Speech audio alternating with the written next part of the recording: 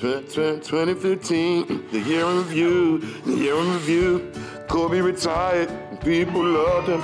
Caitlyn Jenner, Bruce Jenner, Caitlyn Jenner, Bruce Jenner.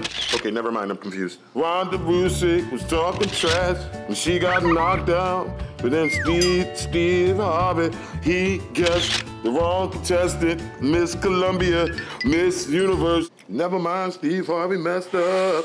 Cause these are the things in 2015. Stitches got knocked out by the game's manager.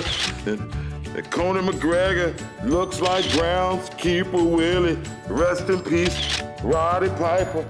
Rest in peace, Meadowlark Lemon. And Bruce Jen, I'm Caitlyn Jen, Bruce Jen. Okay, didn't we just do that already? I told you I was. Okay, never mind. Yusaf Mack, he's not gay. He's not gay. Yes, he's gay. He's not gay. Yeah, uh, no, never mind. No, never mind. I'm, I'm figuring it. That's ISIS. No, not that ISIS. That's the white ISIS. There was ISIS. No, that's the real ISIS, but not. No, no, that ISIS shooting people. No ISIS jokes. No. ISIS is not funny. And there's Abe Finklestein. No, not that one. Me. That's Abe Finklestein. That's when I took this picture with Jeremiah Trotter. When it was over, he said, get the hell away from me. Last but not least, Chip Kelly.